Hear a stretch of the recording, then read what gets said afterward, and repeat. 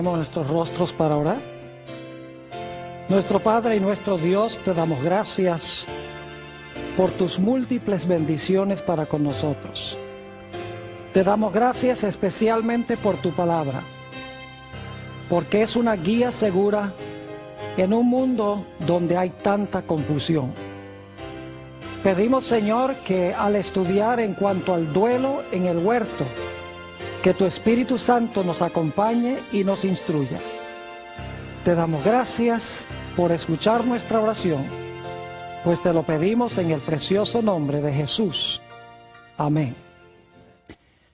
Vamos a comenzar nuestro estudio en esta noche en el libro de Génesis, el capítulo 2 y los versículos 16 y 17. Y en un momento vamos a ir a San Juan 1 y el versículo 1 al 3, pero quiero colocar un marco primero. Génesis el capítulo 2 y el versículo 16 y 17. Dios ha creado a nuestros primeros padres. Y dice la Biblia que colocó un árbol en medio del huerto, un árbol prohibido. Y dice lo siguiente en cuanto a este árbol. Y mandó Jehová Dios al hombre diciendo, de todo árbol del huerto podrás comer, mas del árbol del bien y del mal, de la ciencia del bien y del mal, no comerás, porque el día que de él comieres, ciertamente morirás. En otras palabras, Dios le estaba diciendo al hombre, tú tienes que vivir una vida en perfecta armonía con mi ley para continuar viviendo. El día que tú desobedezcas mi ley, y ya hemos visto que todos los diez mandamientos estaban contenidos en este solo mandato de Dios, Dios le dijo al hombre, si tú llegas a comer del árbol, eso es pecado y te va a traer la muerte. Es decir, obedece y vivirás, desobedece y morirás. Ahora sí vamos al Evangelio según San Juan, el capítulo 1 y los versículos 1 al 3. San Juan, el capítulo 1 y los versículos 1 al 3. Habla aquí en cuanto a Jesús. ¿Cómo fue él antes de la creación? Y vamos a leer en unos momentos más adelante en el capítulo un versículo, el versículo 14, sobre la encarnación de Jesús. Dice en San Juan 1 y el versículo 1, en el principio era el verbo, y el verbo era con Dios, y el verbo era Dios. No era miembro de nuestra familia, ¿verdad? Era miembro de la familia de Dios. Nosotros somos seres humanos. Versículo 2. Este era en el principio con Dios. Y ahora escuchen bien. Todas las cosas por Él fueron hechas y sin Él nada de lo que ha sido hecho fue hecho. ¿Quién fue el creador de todas las cosas? Jesús. Es decir, el creador de Adán y Eva fue Cristo Jesús. Y al leer el relato bíblico nos damos cuenta que aunque Jesús fue el creador, Él colocó Adán y Eva en un huerto y colocó a Adán como el padre y representante de la raza humana. Es decir, colocó a Adán como el rey sobre el planeta Tierra. Vamos a leer eso de nuevo, como ya lo hemos leído, en el libro de los Salmos, el Salmo 8 y los versículos 3 al 5. Salmo 8, 3 al 5. Aquí dice el salmista David, en el Salmo 8 y el versículo 3 al 5, cuando veo tus cielos, obra de tus dedos, la luna y las estrellas que tú formaste, digo, ¿qué es el hombre para que tengas de él memoria y el Hijo del hombre para que lo visites? Le has hecho poco menor que los ángeles y lo coronaste de gloria y de lustre. Fíjense que Adán fue coronado de gloria y lustre. Los reyes usan coronas, ¿verdad? Versículo 6. Le hiciste señorear, es decir, lo pusiste a reinar sobre las obras de tus manos. todo lo pusiste debajo de sus pies. Es decir, aunque Jesús fue el creador, Él colocó a Adán como el rey sobre el planeta Tierra. Y era el plan de Dios de que Adán y sus descendientes viviesen para siempre. Pero luego vino la tragedia del pecado. Y como hemos leído en el Evangelio según San Lucas, el capítulo 4 y los versículos 5 al 7, un nuevo poder llegó a controlar al planeta Tierra. Vamos a leer eso en el Evangelio según San Lucas, el capítulo 4 y el versículo 5. Dice, y le llevó el diablo a un alto monte y le mostró en un momento todos los reinos de la tierra. Y le dijo al diablo, a ti te daré toda esta potestad y la gloria de ellos, porque a mí ha sido entregada y a quien quiero la doy. Si tú postrado me adorares, todos serán tuyos. Es decir, el diablo dice, a mí ha sido entregado el reino o los reinos y a quien yo quiero se los doy. Obviamente los reinos pertenecían al principio a Adán. Este mundo pertenecía a Adán, le fue dado como un regalo por Jesús el Creador. Pero como Adán y Eva escogieron pecar, fueron destituidos de su posición de reinado y se sentó sobre el trono de este mundo Satanás. Y la raza humana necesitaba a un redentor. Pero como estudiamos en nuestro último tema, no había nadie dentro de la raza humana que no hubiese sido vencido por Satanás. Porque en Romanos 3:10 dice, todos han pecado, no hay justo ni aún uno. Todos han pecado y están destituidos de la gloria de Dios. Es decir, el plan original de Dios era que el hombre fuese rey, que su territorio fuese el planeta Tierra y viviese para siempre. Cuando Adán pecó y sus descendientes pecaron, se estropeó el plan. El hombre perdió el trono, perdió el planeta y ahora entró al mundo la muerte. Se necesitaba a un redentor que nuevamente recuperara el trono, recuperara el territorio e hiciera posible la vida eterna en vez de la muerte. Pero dentro de la raza humana no había nadie que pudiese recuperar lo que se había perdido. Pero como hemos estudiado, Dios descendió al huerto y le habló a la serpiente estando Adán y Eva escuchando lo que Dios decía. Y Dios le dijo a la serpiente, a Satanás, yo voy a mandar una simiente a este mundo nacida de mujer. Esa simiente te va a hacer la guerra. En el proceso de la guerra tú le vas a causar dolor, le vas a herir en el calcañar, pero te va a salir caro. Porque en el proceso de la guerra, él te va a dar un golpe mortal en la cabeza y de ese golpe tú no te vas a recuperar. Es decir, lo voy a mandar a esta simiente para recuperar todo lo que perdió el primer Adán. Ahora, ¿cómo se iba a recuperar lo perdido? Ustedes recuerdan que el primer resultado del pecado del hombre fue que se fue la gloria que lo cubría y ahora se vio como, se vio desnudo. Es decir, era necesario cubrir de nuevo la vergüenza de su desnudez para restaurarlo a su condición original. La pregunta clave es cómo podía restaurarse el hombre a la condición original en la cual se encontraba. Génesis 3.21 tiene la respuesta. Vayan conmigo a Génesis 3.21, lo hemos leído de nuevo. Este repaso es vital para lo que vamos a estudiar en nuestro tema de hoy. Dice allí en el versículo 21, y Jehová Dios hizo al hombre y a su mujer túnicas de pieles y los vistió. ¿Qué hizo Dios para Adán y Eva? ¿Túnicas de qué?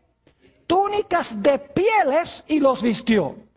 Ahora, hay cuatro puntos claves que quiero recalcar en este versículo. Número uno, Adán y Eva estaban desnudos como resultado de su pecado.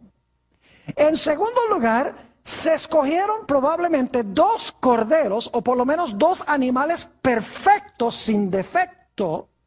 Y luego esos animales perfectos y sin defecto fueron muertos. Para conseguir la piel de un animal hay que matar al animal. Y luego, después que muere ese cordero o ese animal perfecto o esos animales perfectos, porque eran dos pecadores, se tomaron las pieles y se formaron vestiduras para cubrir la vergüenza de la desnudez de Adán y Eva. El diablo es un ser muy perspicaz e inteligente. No cabe duda que el diablo estaba mirando lo que estaba sucediendo y estaba pensando, hmm, cuando el hombre pecó, cuando quebrantó la ley de Dios, perdió su trono, perdió su territorio, entró la muerte, quedó desnudo. Pero ahora yo veo que Dios manda al hombre a escoger dos corderos perfectos. Esos dos corderos perfectos luego son sacrificados, mueren, y luego entonces se toman los, las pieles y con las pieles se cubre la vergüenza de la desnudez del hombre. Y Satanás está pensando, yo creo que yo sé lo que va a hacer Dios. Dios va a mandar a la simiente de la mujer y la simiente de la mujer va a vivir una vida perfecta. Ese cordero representa al que va a venir. Y como el cordero era perfecto, él va a vivir una vida perfecta. Y después de vivir una vida perfecta, él va a morir. Y por su muerte, de alguna manera se va a cubrir la vergüenza de la desnudez del hombre. Dios va a restaurar al hombre a su condición original, tapándole la vergüenza de su desnudez. Es decir, tenemos aquí la primera promesa de salvación que involucraba un cordero perfecto, la muerte del cordero perfecto para cubrir la vergüenza de la desnudez del pecado del hombre. Como les mencioné en San Juan 1.14, encontramos el momento entre, en que la simiente escogió encarnarse en la raza humana. Dice allí en San Juan, el capítulo 1 y el versículo 14, que aquel verbo fue hecho carne y habitó entre nosotros. Es decir, aquel que pertenecía a la familia de Dios, el verbo, quien era ya en el principio. Llegó un momento en que él escogió incorporarse dentro de la raza humana para rescatar lo que nuestros primeros padres y la raza humana habían perdido. Pero qué forma tan extraña de llegar al campo de batalla. Nacer en un mundo controlado por el rebelde. Naciendo en un mundo como un bebé indefenso. Con el propósito, en primer lugar, de vivir una vida perfecta y después de vivir una vida perfecta sin cometer pecado ni una sola vez, entonces morir por los pecados de la raza humana. Es decir, Jesús vino a este mundo con dos propósitos principales. Vino para vivir una vida perfecta y vino para morir. Vino para vivir la vida perfecta que nosotros debemos vivir y vino para morir la muerte que nosotros, por causa del pecado, debemos de morir. Vino a vivir por nosotros y Jesús vino también a morir por nosotros. Vino a tomar nuestro lugar, en otras palabras. Y alguno dirá, pero pastor, ¿cómo podía Jesús tomar el lugar de todos nosotros? Es muy sencillo. Cristo nos creó a todos. Y por si acaso alguno dice, no, a mí no me creó Jesús, porque yo nací después de mi mamá. Yo le voy a recordar que, que usted vino de su mamá, es verdad. Su mamá vino de la mamá de ella, es verdad. La mamá de ella vino de la mamá de ella. Pero si van hacia atrás, hasta el principio, ¿a dónde llegan? Llegan a nuestros primeros padres, Adán y Eva. Es decir, que cuando Jesús creó a Adán y Eva, creó a toda la raza humana y solo el que creó a todos podía ofrecerse en lugar de todos. Un ser humano común y corriente no podía, porque él solo era un individuo, no creó a todos. Jesús, cuando creó a la raza humana, se hizo responsable por la raza humana.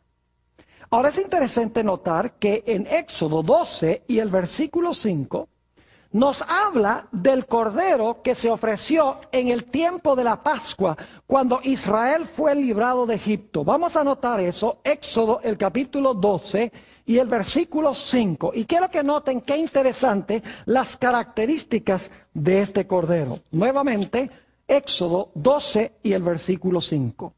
Dice, el animal será sin qué? Sin defecto. Macho de un año. Cuando dice macho de un año significa un cordero joven. Es decir, iba a morir el cordero joven. Y el cordero iba a ser sin defecto. Dice, lo tomaréis de las ovejas o de las cabras. Es decir, el cordero antes de ofrecerse tenía que ser perfecto. Y luego cuando se cercioraban de que era perfecto, entonces podía ser ofrecido en sacrificio. Ahora yo pregunto, ¿qué representaba ese cordero sin defecto que era sacrificado no solo en la Pascua, sino también en el servicio del santuario? Primera de Pedro, el capítulo 1 y el versículo 18 hasta el versículo 20 nos tiene la respuesta a esta pregunta. Primera de San Pedro, el capítulo 1 y los versículos 18 al 20.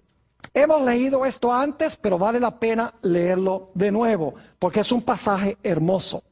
Dice allí lo siguiente sabiendo que fuisteis rescatados de vuestra vana manera de vivir, la cual recibisteis de vuestros padres, no con cosas corruptibles como oro o plata, sino con la sangre preciosa de Cristo. Fuimos redimidos con qué? Con la sangre preciosa de Cristo, como de un qué? Un cordero, ¿qué clase de cordero? ¿Sin qué? Sin mancha y sin contaminación ya destinado desde antes de la fundación del mundo, pero manifestado en los postreros tiempos por amor de vosotros. Yo pregunto entonces, ¿qué representaba ese Cordero perfecto? La perfección de Jesús, que nunca pecó. ¿Qué representaba la muerte de ese Cordero? Representaba la muerte de Jesús. Es decir, Jesús vino a vivir una vida perfecta en armonía con la ley, y vino a morir la muerte que yo debo sufrir. Vino a vivir la vida que debo vivir y vino a morir la muerte que yo debo morir por causa del pecado, porque Él tomó sobre sí mismo nuestros pecados. Ahora yo quiero que ustedes se imaginen cómo habrá sido eso para Jesús. Imagínense ustedes que Jesús estuvo en esta tierra 33 años desde el momento cuando escogió encarnarse para salvarnos. El diablo sabía a dónde se iba a encarnar y cuándo aproximadamente se iba a encarnar. Y el diablo se propuso de que él iba a acechar a Jesús 24 horas al día, 7 días a la semana, 365 días al año. Es decir, no iba a dejar en paz a Jesús ni por un instante. Y el objetivo de Satanás era muy sencillo. Él sabía que Jesús había venido para vivir una vida perfecta. Así que él dice, yo no puedo permitir que viva una vida perfecta. Tengo que con el virus del pecado. Y en segundo lugar, el diablo sabía que Jesús había venido para morir por el pecado. Y por lo tanto el diablo dice, yo no puedo permitir que Jesús ofrezca su vida por el pecado. Y tal vez esto les sorprenda. Tal vez estén diciendo, no, pero el diablo quería matar a Jesús. No, Señor. Vamos a encontrar en nuestro estudio esta noche que no era el objetivo de Satanás matar a Jesús. Bueno, sí lo quería matar, pero no quería que Jesús ofreciera su vida. Es diferente quitarle la vida que Jesús al final de su ministerio ofrecer su vida. Así que el diablo dice, yo tengo que impedir que él viva una vida perfecta y yo tengo que impedir que él muera. Y el diablo escogió cuatro estrategias para cumplir, cumplir su objetivo. En primer lugar, el diablo dice, yo tengo que matarlo antes de que él ofrezca su vida en la cruz. Es decir, yo sé que al final de su vida los pecados van a ser colocados sobre él y él va a ofrecer su vida en rescate por muchos. Pero yo lo que voy a hacer es matarlo antes de que llegue ese momento. Antes de que él ofrezca su vida, yo lo voy a matar y voy a cortar su ministerio. Y saben que el diablo procuró en varias ocasiones matar a Jesús. Desde el mismo momento que el Señor Jesucristo iba a nacer. Ya lo hemos leído, no lo vamos a leer de nuevo, Apocalipsis el capítulo 12 y el versículo 4. Nos dice que el dragón se paró al lado de la mujer para devorar a su hijo cuando hubiese nacido. Es decir, el diablo sabía que Jesús había venido. Y el diablo quería, cuando Jesús era un bebecito en Belén, él quería cortar esto de una vez. Antes que Jesús viviera una vida perfecta y ofreciera su vida, en rescate por los pecados, Satanás dice, yo acabo con esto desde un comienzo, lo mato. Pero saben que esa no fue la única ocasión en que Satanás procuró matar a Jesús. Hubo otras ocasiones también. Por ejemplo, en San Mateo, el capítulo 8 y el versículo 24, nos habla del hecho de que Jesús estaba una vez en un barco con sus discípulos y se levantó una soberana tormenta allí en el lago, que parecía que el barco se iba a hundir porque se estaba llenando de agua. Saben ustedes que los evangelios dicen que esta tormenta no fue una no era época de tormentas. En realidad esta tormenta era fuera de tiempo. Fue una tormenta en verano, en otras palabras, cuando no llovía, cuando no había vientos. ¿Quién creen ustedes que sabía que Jesús estaba durmiendo en ese barco? Satanás. ¿Y qué propósito tenía Satanás? Él quería ahogar a Jesús. En otra ocasión, y esto se haya relatado en Lucas 4, 28 al 30, Jesús se encontraba predicando en la sinagoga en Nazaret. Y Jesús dijo algunas cosas que a la gente no le gustó. Dijo que en los días de Eliseo, Dios favoreció a un hombre que era sirio, que no era israelita, se llamaba Naamán, y favoreció a una viudita que no era ni siquiera israelita. Y ellos siendo muy nacionalistas, se enojaron con Jesús. Y dice la Biblia que lo sacaron empujado de la sinagoga y lo llevaron a un precipicio con el fin de echarlo abajo. ¿Quién creen ustedes que quería que Jesús fuera echado abajo en ese precipicio? Era Satanás. Ustedes pueden leer en varias ocasiones durante el ministerio de Jesús, Satanás procuró que apedrearan a Jesús. Un ejemplo lo encontramos en San Juan 8 y el versículo 59. Jesús acababa de decir, antes que Abraham fuese, yo soy. Se estaba proclamando el gran soy, del, yo soy del Antiguo Testamento, de Éxodo 3 y el versículo 14. Y se enfurecieron y dice que recogieron piedras para tirárselas a Jesús, pero no había llegado todavía la hora de la muerte de Jesús. Y Jesús desapareció en medio de ellos. En otras ocasiones, como relata San Marcos 1 y el versículo 23 y 24, nos dice la historia que a veces los demonios, eh, eh, los endemoniados venían corriendo hacia donde estaba Jesús, indudablemente con el fin de destrozarlo. Y claro, cuando llegaban a donde estaba Jesús, se tenían que parar porque se daban cuenta en la presencia de quien estaban. Inclusive en Marcos el capítulo 1 dice que los demonios declaraban, dice, nosotros sabemos quién eres tú, tú eres el santo de Dios. Y no podían acercarse a Jesús, ni podían poner un solo dedo sobre Jesús. Es decir, el diablo quería matar a Jesús antes de que Jesús llegara a su hora en que debía ofrecer su vida en rescate por muchos.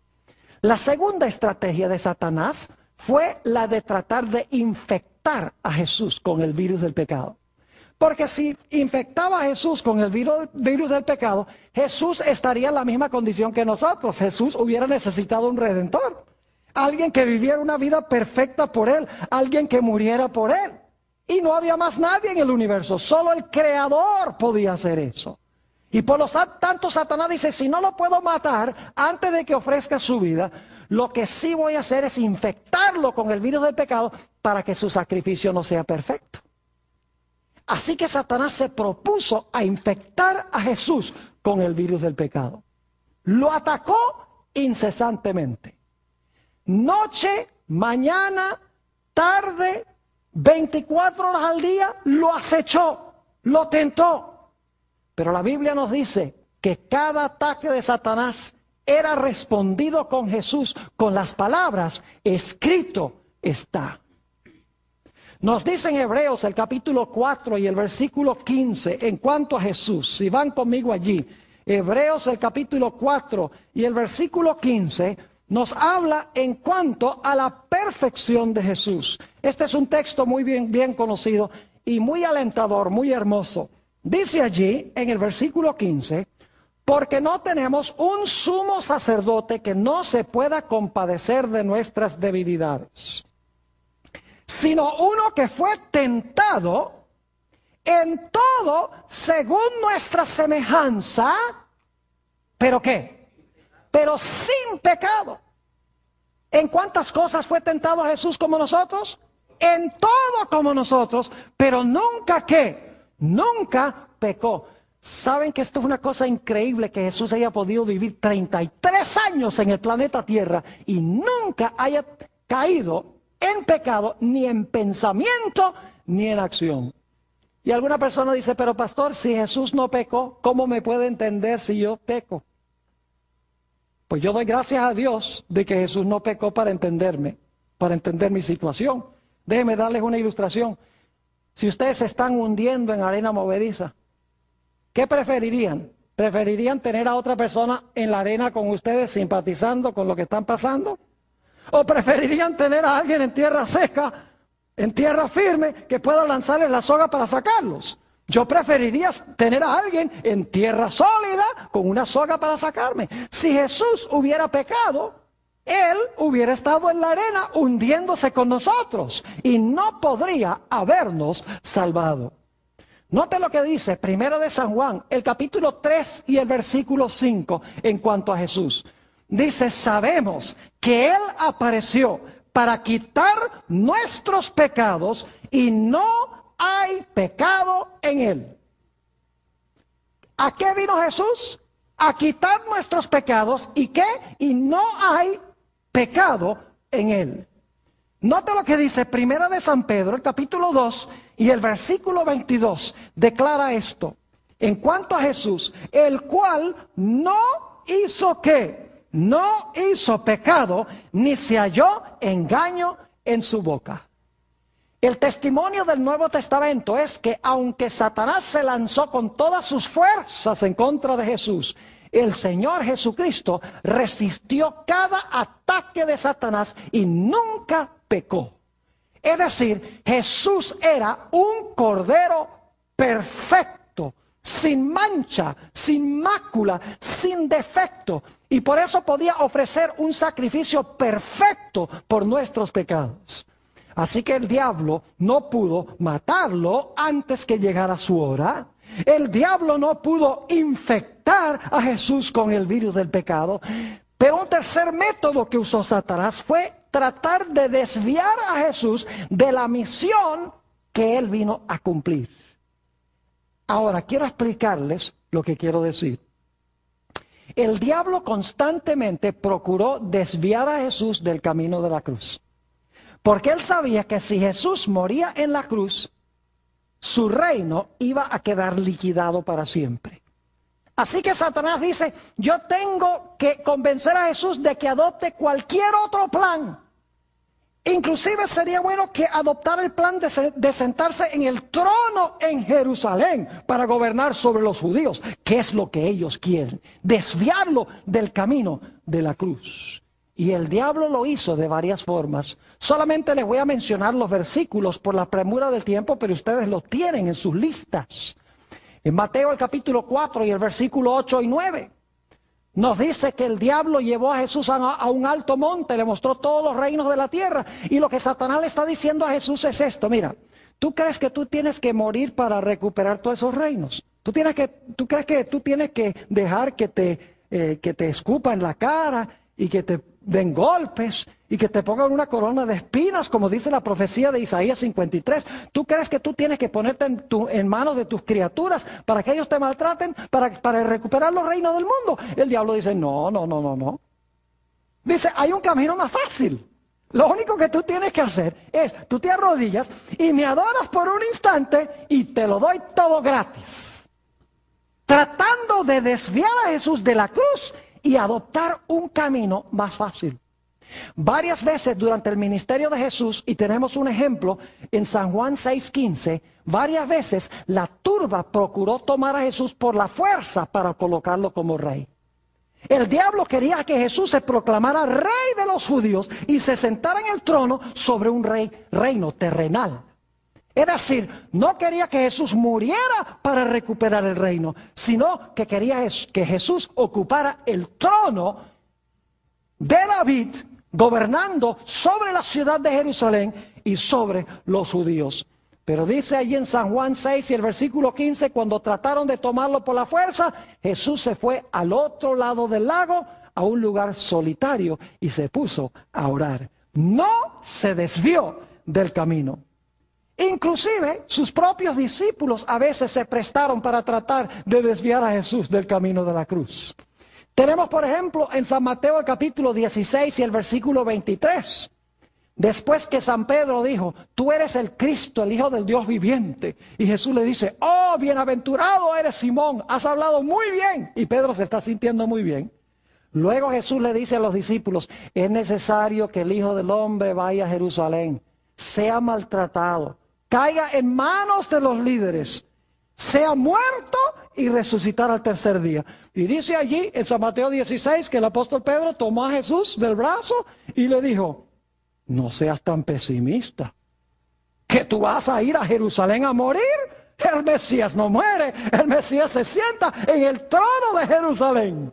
¿Y qué le dijo Jesús? No estaba hablándole a San Pedro. Jesús le dice, apártate de mí, Satanás, porque me eres qué? Porque me eres un estorbo, eres piedra de tropiezo. Es decir, Pedro se estaba prestando como instrumento para tentar a Jesús de que no fuera la cruz, sino que fuera la clase de Mesías que los judíos estaban esperando. Unos pocos versículos después, en el capítulo 17 y el versículo 4, Jesús subió con tres de sus discípulos al monte de la transfiguración, con Pedro, Santiago y Juan. Y Jesús se transfiguró delante de ellos como se verá cuando venga en poder y gloria en su segunda venida, para que ellos captaran una vislumbre de lo que iba a venir después de la cruz. Y descienden sobre el monte dos personajes, Moisés y Elías. Moisés había muerto y resucitado, ido al cielo. Y Elías había sido trasladado al cielo de entre los vivos cuando leemos el Antiguo Testamento. Y después de esta experiencia, el apóstol Pedro le dice al Señor Jesucristo, Señor, no vayamos a Jerusalén, porque ya iban en su último viaje para Jesús morir. Pedro le dice, no vayamos, Señor, a Jerusalén, construyamos tres tabernáculos aquí y quedémonos en la montaña. Es decir, no vayas a Jerusalén a morir. Hacia el final del ministerio de Jesús. El relato se encuentra en San Juan 12 y el versículo 20 al 24. Vienen unos griegos para entrevistarse con Jesús. Y dice, queremos hablar con Jesús. Porque hay muchos creyentes en Grecia que necesitan escuchar el Evangelio. Los campos están maduros para la cosecha. Queremos que el maestro venga ya a Grecia a predicar. Y cuando van los discípulos para hablar con Jesús y le dicen, mira, hay unos griegos que quieren hablar contigo para que vayas a hacer una misionera en Grecia. Jesús dice algo que parece estar desconectado de la conversación. Jesús dice, ha llegado el momento en que el Hijo del Hombre sea glorificado. Es decir, no es tiempo de ir a Grecia. Es tiempo de ir a la cruz. Mi hora ha llegado. Es tiempo de morir. Y luego dice, si un grano de trigo cae en la tierra y muere, retoña y produce mucho fruto. Pero si cae en la tierra y no muere, queda solo y no produce fruto. Lo que está diciendo Jesús es, si yo voy a la cruz y muero, entre los griegos habrá mucho fruto como resultado de mi muerte. Pero si yo voy a predicarle a los griegos y no muero, es en vano. porque de todas maneras siguen estando en sus pecados, porque necesito morir por los pecados de la raza humana. Es decir, Satanás procuró matar a Jesús antes que llegara su hora. Satanás procuró infectar a Jesús con el virus del pecado. No fue capaz. Trató de desviar a Jesús del camino de la cruz, sabiendo que si Jesús vivía una vida perfecta y moría, que su reino iba a quedar destruido. Pero el diablo usó un cuarto método para tratar de vencer a Jesús. Trató de desalentarlo. Lo que trató de hacer fue que Jesús se sintiera que su misión no iba a producir fruto. Es interesante notar que en San Juan el capítulo 13 y los versículos 1 al 3 nos dice que Satanás se le metió a Judas. Y Judas fue con los dirigentes religiosos y tramó la venta de Jesús a los líderes religiosos. Ahora yo pregunto, ¿Era el plan de Judas de entregar a Jesús para que a Jesús lo mataran? No. Algunos comprenden mal, dicen, ay, si Judas entregó a Jesús para que lo mataran. No, ese no era el propósito. El propósito de Judas era entregar a Jesús para que el Señor Jesucristo, cuando lo fueran a arrestar, se escapara de las manos de los que lo fueron a arrestar. Y usted dice, Pastor Bor, ¿cómo sabe eso?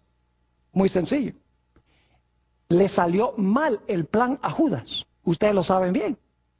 Cuando Judas se dio cuenta que Jesús no se zafó de las manos de sus enemigos, ¿qué hizo Judas? Dice la Biblia que fue con el dinero y lo tiró allá delante de los líderes religiosos y dijo, he entregado sangre inocente. Y dice la Biblia que fue y se suicidó. El propósito de Judas era que Jesús cuando lo arrestaran y lo maltrataran, que Jesús se zafara de sus manos y que no fuera a la cruz. El diablo no quería que Jesús fuera a la cruz. El diablo no quería que Jesús muriera en la cruz. Sí quiso matarlo antes que llegara su hora. Pero cuando llegó su hora, no era su plan de que Jesús muriera. Y algunos dicen, pero Pastor Bor, entonces, ¿por qué razón el diablo llevó a la gente a abofetear a Jesús y a escupirle en el rostro y a azotarle la espalda y ponerle una corona de espinas. ¿Y por qué? ¿Por qué Satanás influyó sobre la gente para que le clavara las manos en la cruz y los pies si el diablo no lo quería matar? ¿Saben cuál era la intención de Satanás? La intención de Satanás era que causándole este sufrimiento a Jesús, que Jesús se vengara de los que le estaban haciendo esto que Jesús se escapara de sus manos, en otras palabras, y que no muriera, sino que se vengara y de esta manera quedaría destruido el plan de la salvación. El diablo procuró por todos los medios desalentar al Señor Jesucristo. Vamos al Evangelio según San Mateo, el capítulo 26, y empezando en el versículo 38. San Mateo 26 y el versículo 38. Quiero que noten aquí lo que pasa con Jesús en el huerto del Getsemaní. Mateo al capítulo 26 y voy a leer empezando en el versículo 38. Entonces Jesús les dijo, mi alma está muy triste hasta la muerte quedaos aquí y velad conmigo. ¿Qué le dice a sus discípulos? Estoy muy triste. Quédense aquí y velen un rato, quédense despiertos y velen conmigo. Versículo 39. Yendo un poco adelante, se postró sobre su rostro, orando y diciendo, ahora escuchen esto, Padre mío, si es posible, pase de mí esta copa pero no sea como yo quiero, sino como tú. ¿Qué tenía Jesús en la mano? Una copa. ¿Y qué le está rogando a su Padre? Que esa copa que pase. Jesús oró esta oración tres veces. Noten el versículo 42. Otra vez fue y oró por segunda vez diciendo, Padre mío, si no puede pasar de mí esta copa sin que yo la beba, hágase tu voluntad. Versículo 44. Y dejándolos, se fue de nuevo y oró por tercera vez diciendo las mismas palabras. Jesús oró tres veces, Padre, quiero que pase de mí esta copa. Ahora yo quiero preguntarles, ¿qué era lo que contenía esa copa? Lo que tenía esa copa era la ira de Dios, la ira de su Padre contra el pecado. Ustedes recuerdan que en el libro de Apocalipsis hay siete copas que tienen siete ángeles. ¿Y de qué están llenas las copas? Dice que las copas están llenas de la ira de Dios. Es decir, la copa que Jesús tenía que beber estaba llena de la ira de Dios. Y enseguida decimos, ¿por qué estaba llena de la ira de Dios si Jesús nunca pecó?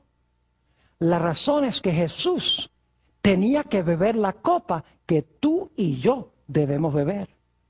El Señor Jesucristo tenía que beber la copa de la ira de Dios contra el pecado, porque Jesús estaba tomando sobre sí mismo nuestros pecados.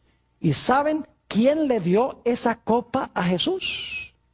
Note lo que dice San Juan, el capítulo 18 y el versículo 11. San Juan, el capítulo 18 y el versículo 11 nos dice quién fue el que le dio esa copa a Jesús, la copa que tú debes beber y la copa que yo debo beber. Dice allí en San Juan, el capítulo 18 y el versículo 11, Jesús entonces dijo a Pedro, mete tu espada en la vaina. La copa que el Padre me ha dado, no la he de beber ¿Quién le dio la copa a Jesús? Su propio Padre. Pero ¿por qué si Jesús no pecó, no merecía la ira de Dios? Mis queridos hermanos y amigos, es porque Jesús estaba bebiendo la copa de la ira de Dios contra el pecado que debo beber yo. Él estaba colocándose en mi lugar. Él vivió la vida perfecta que yo debo vivir, que no vivo, y él estaba sufriendo la muerte por mis pecados. Es tan terrible el sufrimiento de Jesús que leemos en el Evangelio según San Lucas, el capítulo 22 y el versículo 44. Si van conmigo allí, San Lucas, el capítulo 22 y el versículo 44, que dice que el Señor Jesucristo sudaba grandes gotas de sangre. Dice allí, y estando en agonía, oraba más intensamente y era su sudor como grandes gotas de sangre que caían hasta la tierra. ¿Cuánta agonía debe estar sufriendo una persona que en vez de sudar sudor, sude gotas de sangre? Saben que posiblemente muchos de ustedes han visto esa película, La Pasión del Cristo, de Mel Gibson. Esa película lo que enfatiza mayormente, según me dicen, es la violencia física que sufrió Jesús. Pero la violencia física que sufrió Jesús no fue nada comparado con su agonía espiritual y mental. Porque el Padre estaba colocando sobre Jesús todos los pecados de la raza humana. Los que se han cometido, los que se estaban cometiendo y los que había todavía por cometer. Jesús estaba cargando todos los pecados de la raza humana, castigado por su propio Padre, bebiendo la copa de la ira de Dios. Nos dice en San Lucas 22, 53 que este fue, esta fue la hora de la potestad de las tinieblas. Es decir, Satanás estaba torturando a Jesús. Es más, lo que Satanás le estaba diciendo a Jesús era, mira, si tú sigues adelante y bebes esta copa de la ira de tu padre, nunca más vas a ver a tu padre. Porque tu padre odia tanto el pecado que si tú bebes la copa de la ira de tu padre, vas a quedar separado eternamente de él. Así que piénsalo bien. Porque si tú te bebes esa copa, nunca más vas a ver el rostro de tu padre. Vas a quedar separado para siempre. Fíjense que está tratando de desalentar a Jesús. Y el diablo usó otros métodos para desalentar a Jesús. Por ejemplo, cuando sus discípulos debían estar orando por Jesús, ¿qué estaban haciendo? Estaban durmiendo. Judas, uno del círculo de los discípulos, lo entregó. San Pedro, uno de los, de los más importantes discípulos, ¿qué hizo? Lo negó. Es decir, Satanás obró sobre los discípulos para que se durmieran. Satanás obró sobre Judas para que lo entregara.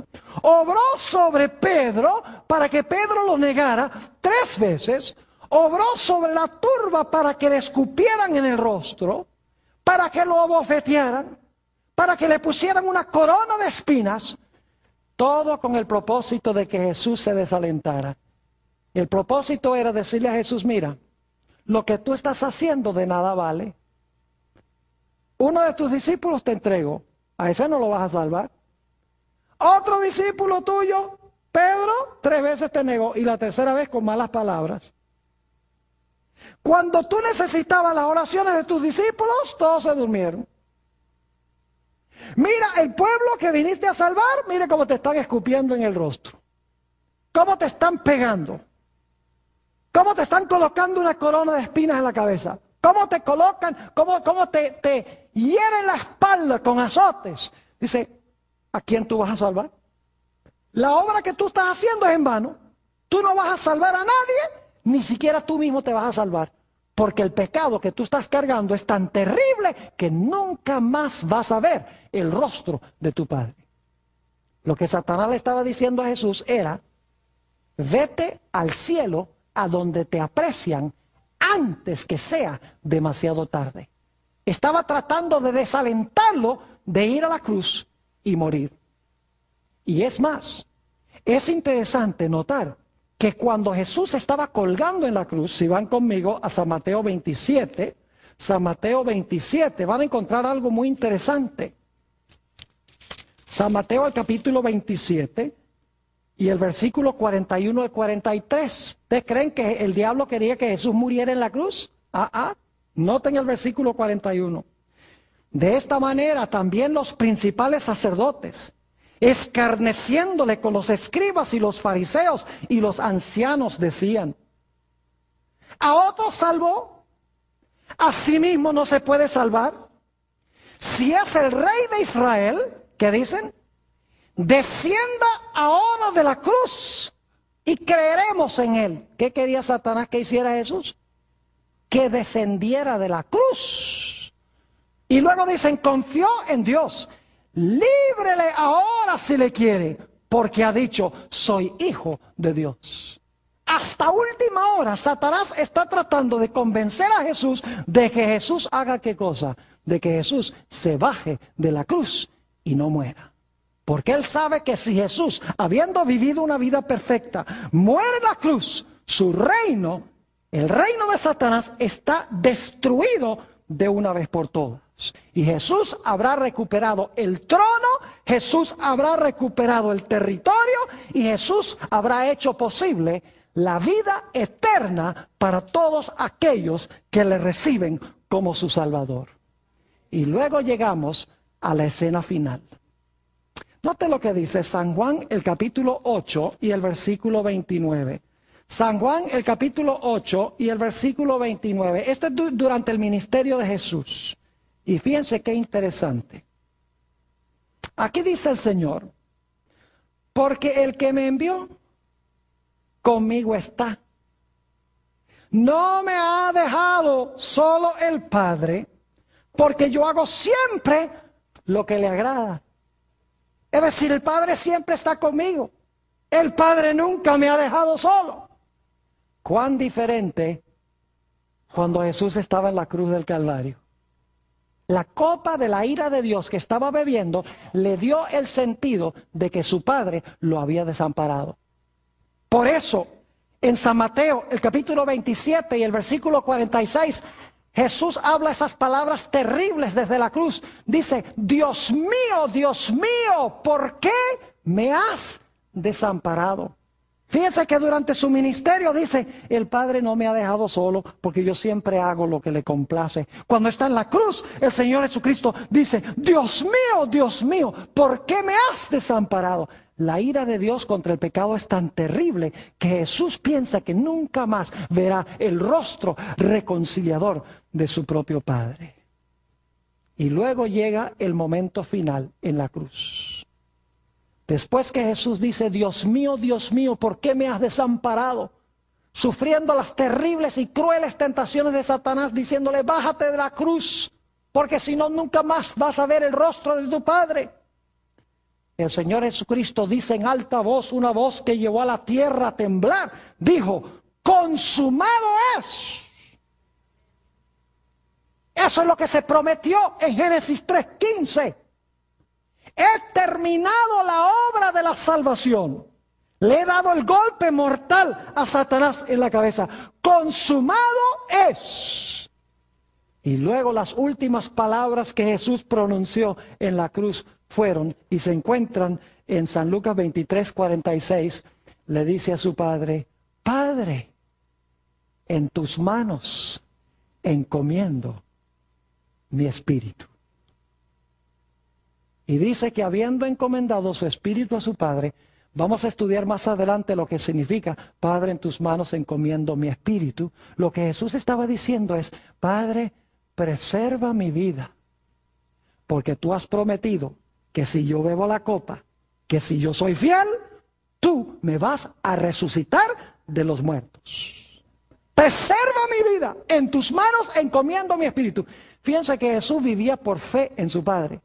Aunque se sentía desamparado de su padre, ese era su sentir, sus emociones le decían, Satanás le susurraba, tu padre te ha dejado porque estás cargando los pecados de la raza humana, no lo hagas, vete mientras puedas. Mientras que sus emociones y sus pensamientos están diciendo eso, Jesús en su mente dice, mi padre me ha dicho que si yo soy fiel, que si yo ofrezco mi vida, que si yo me mantengo firme, que Él me va a resucitar de los muertos el tercer día. Y por lo tanto, aunque se siente desamparado, dice, Padre, en tus manos encomiendo mi espíritu. Y dice la Biblia que habiendo dicho estas palabras, inclinó la cabeza y expiró. Ahora Satanás dice, hmm, mi reino se acabó porque vivió una vida perfecta que le puede ofrecer a cada persona que lo reciba. Y murió la muerte que todos deben sufrir. Es decir, la, vida perfecta que exige la ley, Él la vivió. Y la muerte que exige la ley por paga del pecado, Él la murió. Y cualquiera que lo reciba, la vida de Él está en lugar de la vida pecaminosa. Y la muerte de Él está en lugar de la muerte suya. El diablo sabía que había perdido en la gran batalla entre el bien y el mal. Pero el diablo no estaba por darse por vencido. La Biblia nos dice que él colocó una guardia romana, influyó sobre Pilato para colocar una guardia romana delante del sepulcro. Influyó para que pusieran una gigantesca piedra enfrente de la entrada del sepulcro. E indudablemente también colocó allí a sus más poderosos y mejores demonios para vigilar el sepulcro. Porque él sabía que Jesús había profetizado que iba a resucitar el tercer día. Claramente, cuando van los judíos para decirle a Pilato que ponga una guardia romana, dice, es porque este individuo dijo que iba a resucitar el tercer día. El diablo conocía las profecías. Me imagino a todos los demonios que estaban allí presentes, los soldados romanos, la piedra en la entrada, y el que había vivido la vida perfecta por nosotros y había muerto, la muerte que nosotros debemos sufrir dentro del sepulcro. Cuando muy temprano, el primer día de la semana, descienden dos ángeles poderosos del cielo. Uno de los ángeles se para afuera del sepulcro, el otro se sienta y dice, habiendo quitado la piedra, dice, oh Hijo de Dios, tu Padre te llama. Y pueden ustedes imaginarse la conmoción que hubo. De repente se ve movimiento dentro del sepulcro. Y sale por la entrada del sepulcro, habiéndose quitado los lienzos o habiéndole el ángel probablemente quitado los lienzos de Jesús, y habiendo Jesús doblado los lienzos, según dice la Biblia, Ahora sale Jesús del sepulcro diciendo, yo soy la resurrección y la vida. Los soldados romanos caen como muertos. La piedra no pudo mantener al príncipe de la vida en el sepulcro. Indudablemente los demonios salieron corriendo.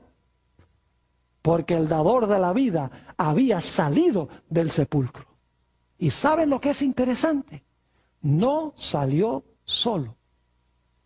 Nos dice en San Mateo, el capítulo 27, 27 y el versículo 51 al 53, que cuando Jesús resucitó, salieron con Jesús una multitud de personajes que habían muerto antes que Jesús.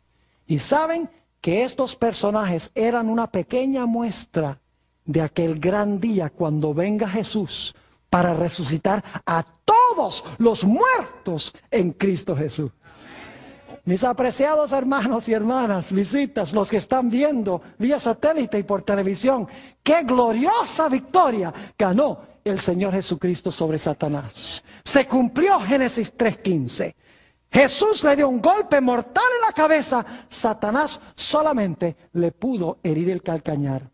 Lo único que resta es ver quién recibirá el regalo que ofrece Jesús.